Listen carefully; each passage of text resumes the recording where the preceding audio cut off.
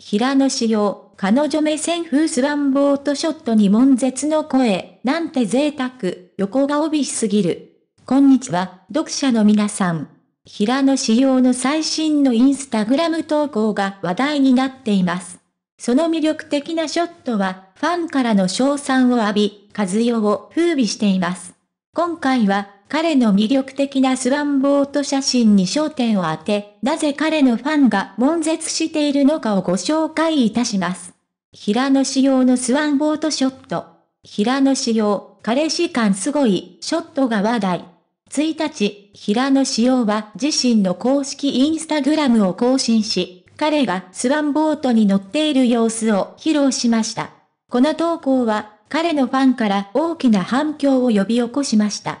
なぜなら、これらのショットが平野の魅力を存分に引き立て、彼女目線風のアングルで撮影されているからです。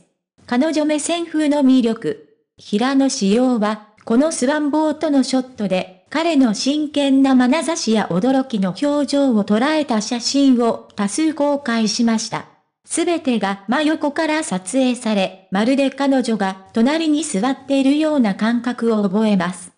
彼の手すりに捕まる仕草や水しぶきが飛び散る瞬間までが美しい瞬間として切り取られています。ファンからの絶賛。この投稿に対してファンからは一緒にボートデートしたい、横が帯しすぎる、なんて贅沢、隣に座らせてください。彼氏感すごいアングル天才、など賞賛のコメントが殺到しました。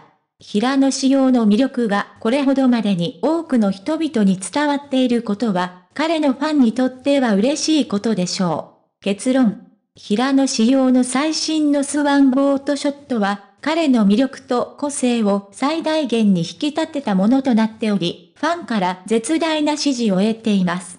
その真剣な眼差しや表情、そして彼女目線風のアングルは、彼のファンだけでなく、多くの人々に感動を与えることでしょう。今後も彼の魅力的な投稿に期待が高まります。最後に、平野仕様のファンの皆さん、これからも彼の活動を応援しましょう。彼の魅力は今後も広がり続けることでしょう。それでは素晴らしい1日をお過ごしください。